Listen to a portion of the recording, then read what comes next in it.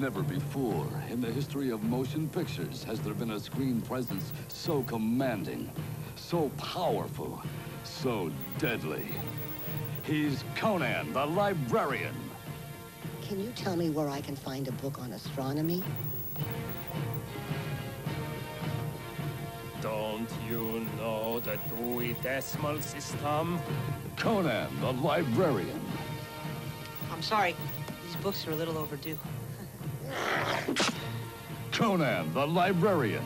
Tonight, only on U62.